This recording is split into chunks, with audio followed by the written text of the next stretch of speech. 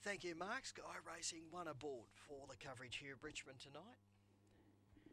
Weather fine on the chilly side. The track in good order for our 10 race car tonight. A rare Tuesday night racing here at Richmond. Green light turned on and we are ready to go for the opening race on the program. Set and ready. Racing, Wilshire Girl, a shade toady to go. Asta Amara out wide began brilliantly. King Parker away in a hurry. Asta Amara's run to the lead over King Parker.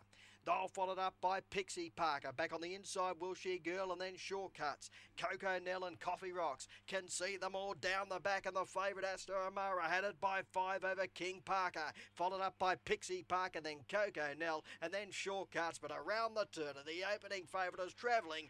Asta Amara goes all the way. King Parker's run second, Pixie Parker third, followed in by Shortcuts and Coco Nell. A long break to Coffee Rocks and Wilshire Girl, the tail ender, in about 31 2.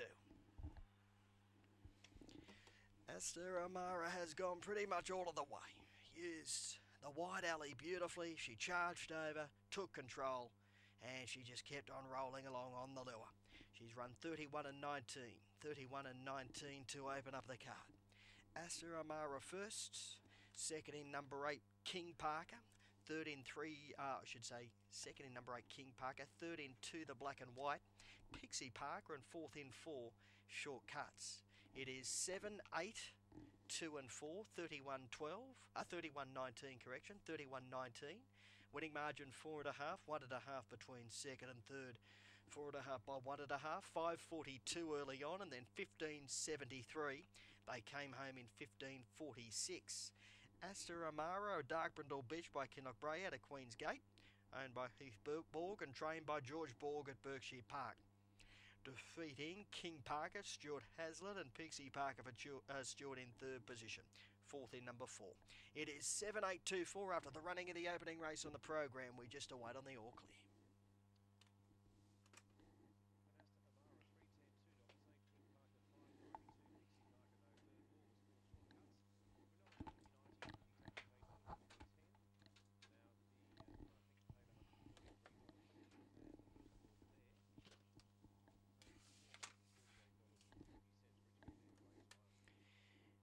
Race number one on the card, Astor Amara, 310 and $2. King Parker, 590 No third dividend for Pixie Parker. Quinn, $30.90. Exacta, 33.10. Try, $133. First four, $448.50. We just await on the all clear. It is 7, 8, 2 and 4, race one.